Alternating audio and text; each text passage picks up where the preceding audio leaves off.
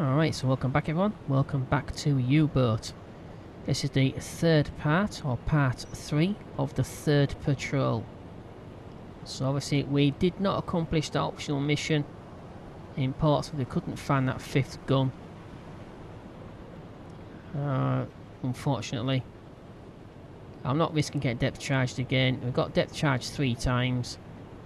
Once from the air, twice from uh, corvettes and there was an MTB as well, which also tried to uh, depth charges.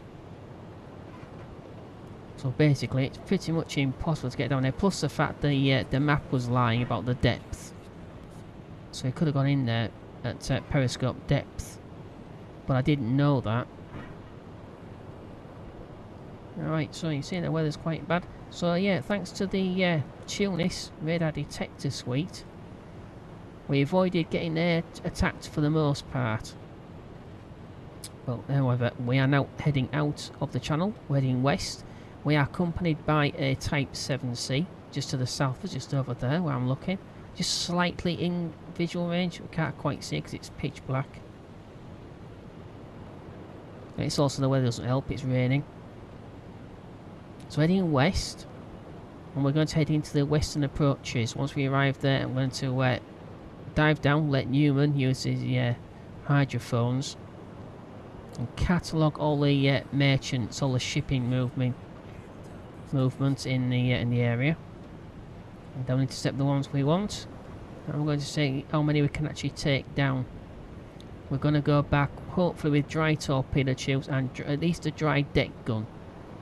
We're also going to uh, be using the HE and AP rounds on the flak gun to take down some merchants. We have to get close enough to them, obviously, just like before. We'll see exactly how many we can actually bag in this patrol. Just to make up for the, uh, well, the rather disappointing second mission we uh, failed on.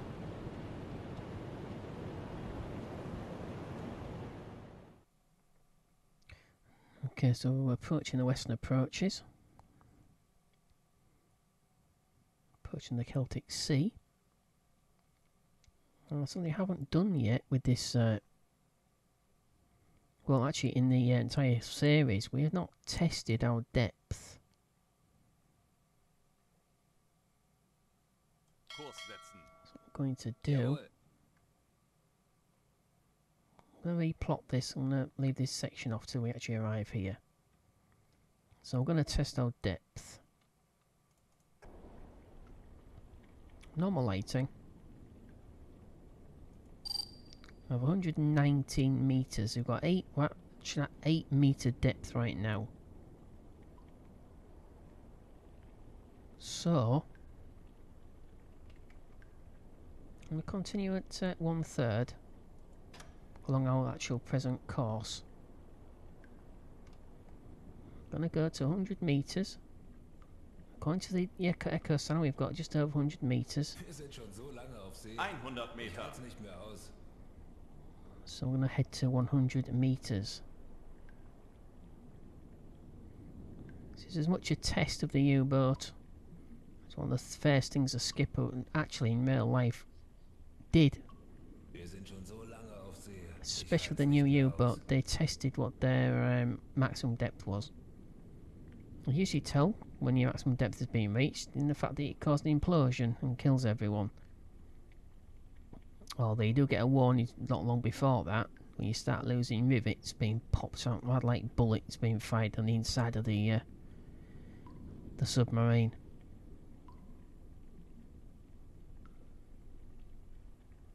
Hundred meters shouldn't be a problem. It's it's amber. Anything below there becomes amber. Obviously, 150 meters and above 160 meters you start to uh, approach the red. At which point it's anyone's guess as to how long you're going to last for in this red zone.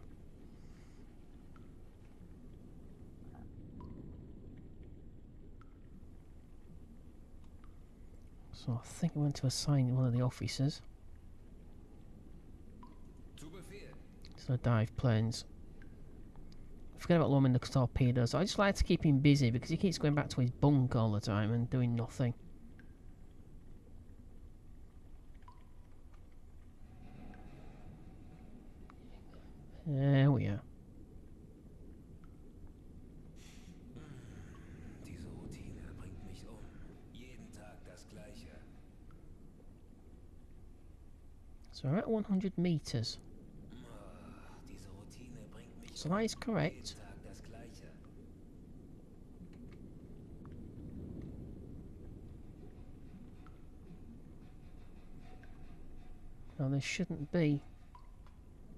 I don't want to. Yeah, it's not too clever to have someone up here when you're testing crush depth. But I don't think we're to crush, test the crush depth anyway. But uh, let's be able to uh, evacuate this point. And that's something about section view, which is different to first person. Now, according to developers, you can play them in both one or the other, or both together. Like the way we played through the tutorial. But I prefer first person. And According to the developers, you can play it fully in first person. Well, I can't see how that can be because I can't evacuate this section or any other section. I can't tell the crew not to be in here. I could turn the electrics off on the distribution section, that little panel I showed you in the previous episode, but uh, I can't actually evacuate the area or tell them to pump out a particular area. Which is a bit strange because I should be able to. So yeah. And there's no way of telling them to evacuate or pump out a particular area in this menu either. So without section view, I can't do what I want to do. And I shouldn't have to have section view. In order to evacuate. Obviously, if you see water on the uh, the ground, sorry, the floor. Yeah, it's getting a bit creaky now, isn't it? Okay, test the depth. We'll ignore the, the, uh, the shortcomings right now, 'cause obviously it's in beta, so... And really, when diving deep, these sections should all be sealed as well. So we still have 20 metres, yeah, it said 108 metres. Going to go to 110. 100 Meter. Going to see exactly where out. Obviously, right now we can't really test it beyond, much beyond 100 metres.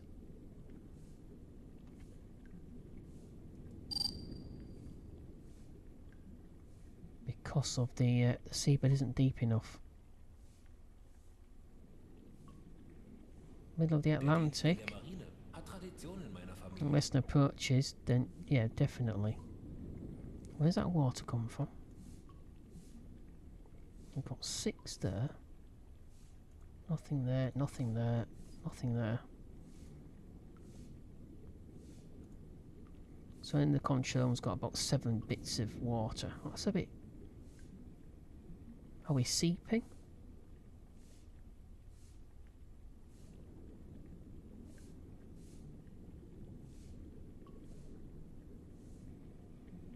No, don't think so. It's probably from when we had the rain and it's dripped down through the conning tower. A few seconds on the pump. There we go. Alright, so 110 metres. And it's creaking quite nicely. So I've got 104 minutes and 50 seconds.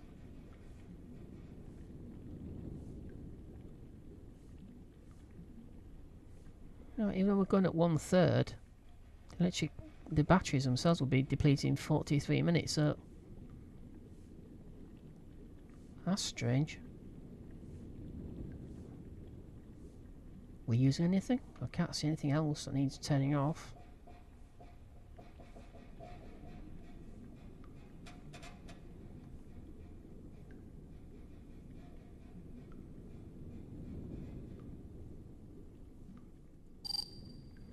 Okay, so I'm just clear of two meters. I'm going to come to a full stop. I'm going to sit this. Wir sind schon so lange auf See. Ich halte nicht mehr aus. Yeah, whatever. Um, yeah, so I'm going to sit this on the seabed. Because we can't really take a look around because obviously in first person mode, but if, you, if you play it in section mode, or both FPP and section, you can have a look outside. But we can't use the scopes, for obvious reasons. Okay, so, we have two meters. So lange auf See. Ich halt's nicht mehr aus. We are at 110. Lower down to 112. 100 Meter. Seabed. And it puts you back into uh, real time. So that's handy.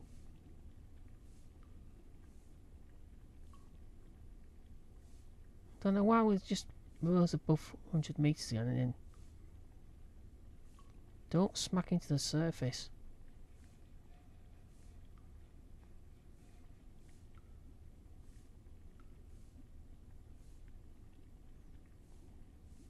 Yeah, I don't know what's happened there. That was very strange.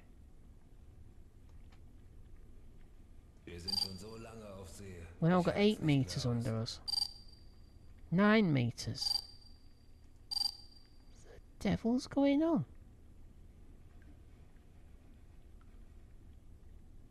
We're 112. We'll go down 114. We're going out 115 metres. 100 Meter. No, I said 115 metres.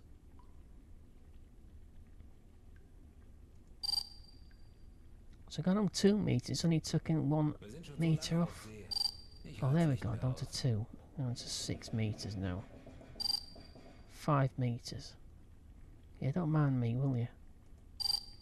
3 metres.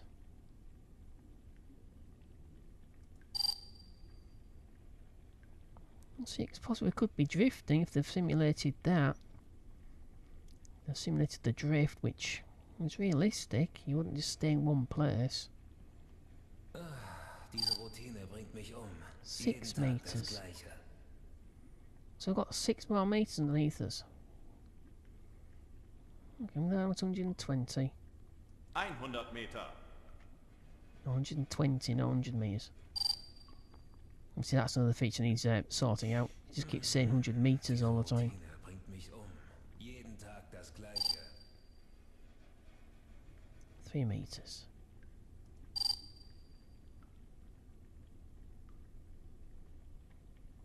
Nearly there. Ah, Diese Routine bringt mich um. Jeden Tag das Gleiche. No, we're not nearly there. Okay, so I've ordered 120 metres, but it seems to be taking its time to get down there.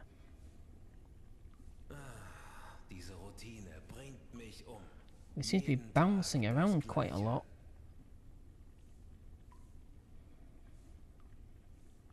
And that's something else as well. It only seems to show what you've actually ordered, not what you're actually at. As far as depth is concerned. I'm thinking maybe the Echo Sound is like, um, Der Dienst in der Marine hat Tradition in meiner Familie. depending on where it is along the boats, underside. It could show like a deep, like like a, like a well, like little sort of lumps. So it should could show it deeper than it actually is. That's why we're bouncing a little bit. There we go.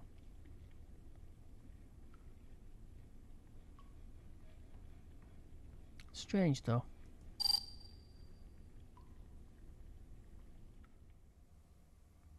Okay, so I thought I'd take some manual control for a little while of the hydrophones. Identified a propeller noise. Just make that out. Just there.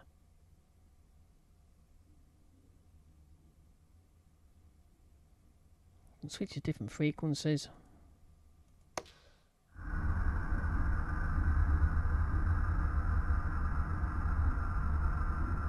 So on, low frequency you're going to pick up all sorts of bass. Medium not quite so much. So that's mid-range sort of sounds.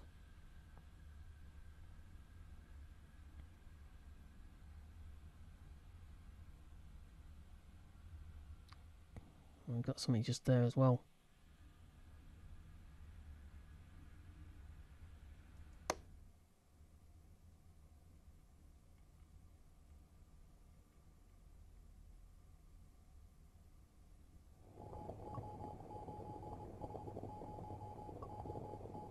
And that's the cook on the radio bleeping. So that's the cook in the galley. So I actually have to look this ways for any sort of discrepancies, any changes. Got something just there actually.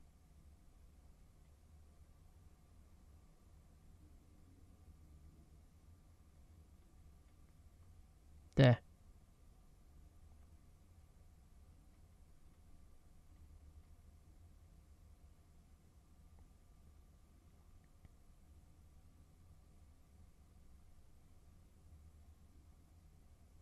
On there. Just ever so slightly every so often. Like a shh sound. There.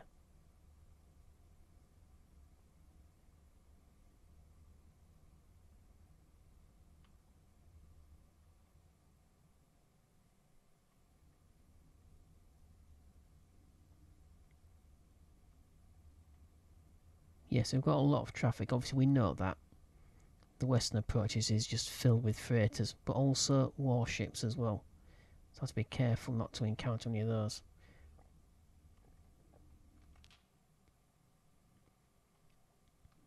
So that's what we identified. So a minimum of two contacts. So I thought there was more than one contact.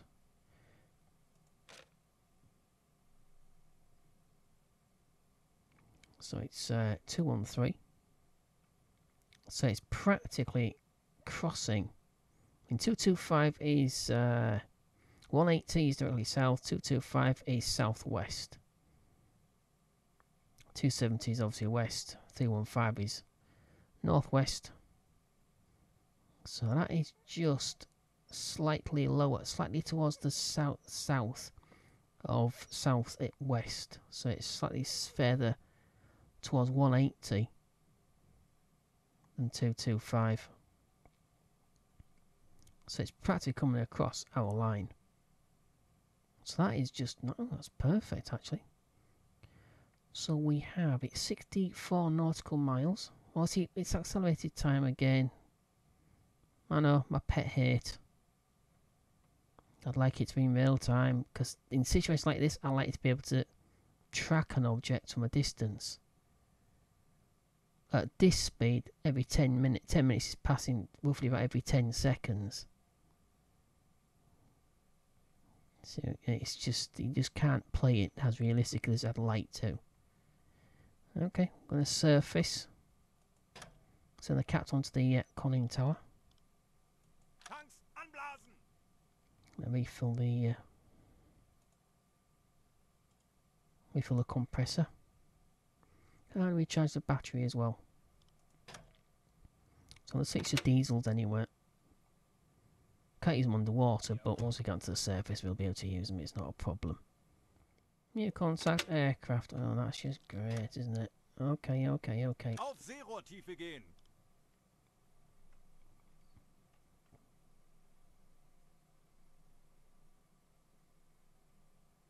Tauchen auf 50 Meter. 30 meters. Switch to electric.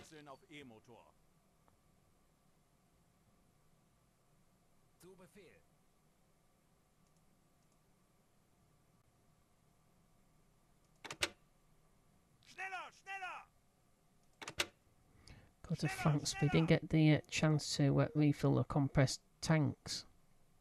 The actual air tanks. Damn aircraft are a nuisance, aren't they? Probably from here.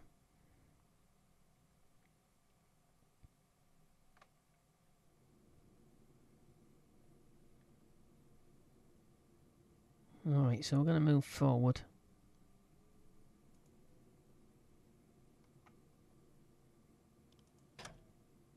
That's about flank speed. About 30 metres. And then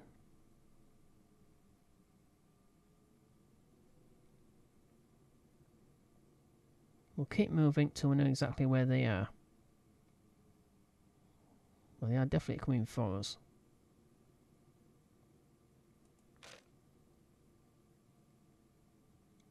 Yeah, that'll be the hydrophones picking them up. So they must be quite low.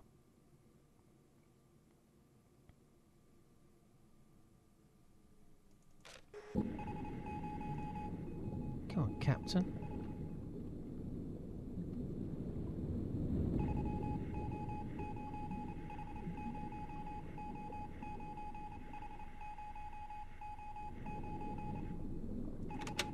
Down to one third.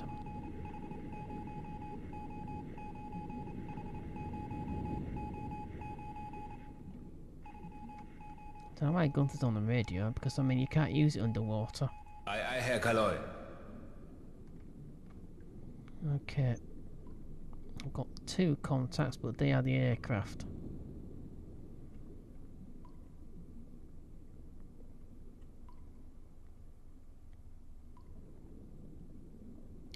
Maintain 30 metres. Until the aircraft out of the area. Then we'll maintain 30 metres.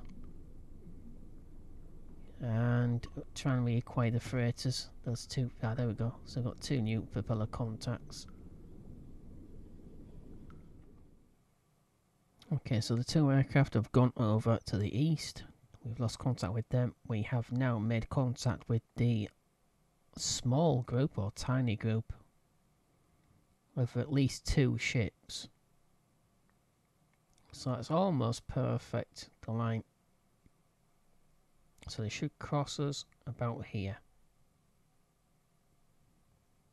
So we've just come up to periscope depth.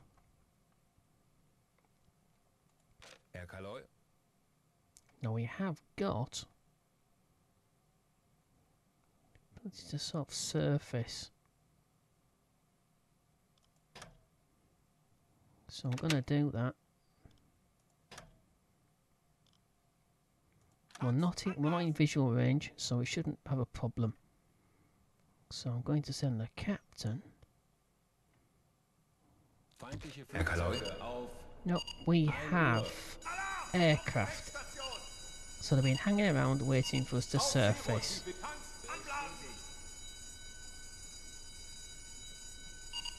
Damn it. Oh well, never mind.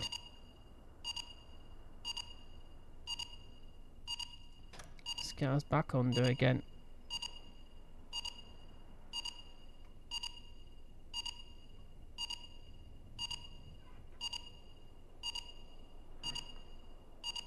Damn it. So it looks like they was waiting for us to surface. Kapitän. Yep, I was waiting for us to surface. Why are we not under yet?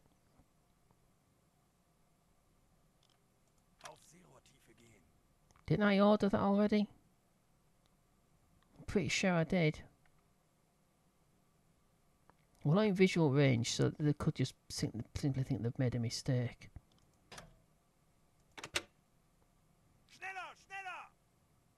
Damn it. So it's going to be well over an hour before they actually arrive into firing range. I was hoping it was dark enough to be able to.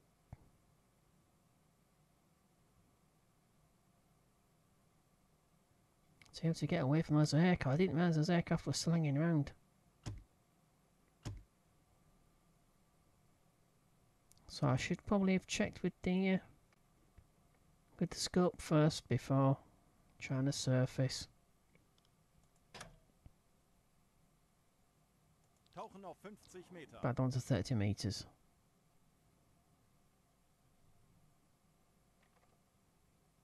Chief, go back to the boat. Engines, please. Herr Kaleu. Sehr wohl, Herr Kaleu. Wasserbomben. Depth charges. Wasserbomben. I want flank speed, Chief. If you don't mind. Wait, give us full power then.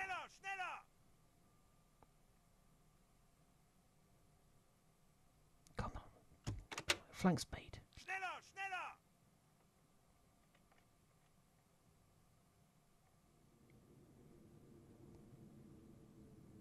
As long as I can get away from the depth charges. Yes, they've been they've been hanging around. Now the thing is, they've got. Something tells me there's an aircraft carrier somewhere near. Okay, so we have the almost perfect intercept line, so I was almost right. We've made contact once again. Once we've moved into position, where we are now, with the two freighters. There's at least two freighters amongst them, from what I can tell.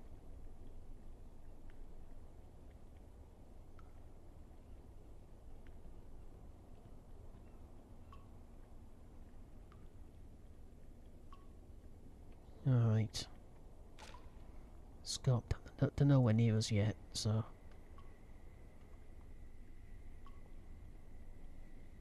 Captain? We'll head to Tell him to uh, leave. Actually, no, I won't. I'll leave it because he can actually hide the um, the scope more effectively than the uh, the the rest of the crew. We still have two aircraft hanging around though, which is why I'm staying at uh, periscope depth. It's fifteen twenty. We've lost our bonus, so we've got minus one for fatigue right now. But it's not causing a problem right now. Not not yet. Auction is fine. We can stay down for well at least another hour. Need to uh, ventilate. Consumed by diesel engine, that's fine. Well, it's anything at all. Gyroscope is deactivated, so there's nothing like that. Compressed air is down to 27% because I surfaced uh, without checking on the periscope and the aircraft um, charter depth charges. Two aircraft in this group. Somehow, when we surfaced, it was over here. So obviously, this is estimated on the last contact that you have. So if the last time you see, let's say, an aircraft or a ship, it was heading east, and you dive, and that's it. It will project as if it's continued on the east, even though it may have actually changed course after you've lost visual or hydrophone contact with it. So that's something to note. Aircraft especially. Alright, but we've got the two freighters. Well, two contacts between two and four contacts. I think from what I can tell on the hydrophone, there's two contacts moving at six knots.